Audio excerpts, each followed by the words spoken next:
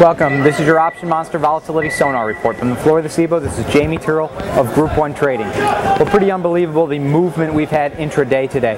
After the entire weekend with the front month expiring on Wednesday, we opened completely unchanged in the front month future, opening up 1990 at 7 a.m. today. Between 7 a.m. and right now at 10.30, we were down below 19, we were up above 20 and a half, a huge range. We've seen a lot of volatility in the S&P 500, especially out of Apple, which had a midday drop down that has fueled a lot of the back and forth here in the VIX.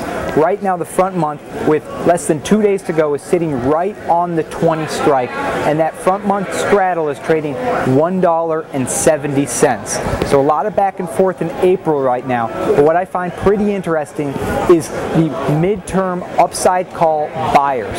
Both the May and July futures are down on the day, but we have big buyers of the 28 to 30 strike in both months. Now on Thursday and Friday, we also had big buyers, but sellers stepped up and nailed these mid-market.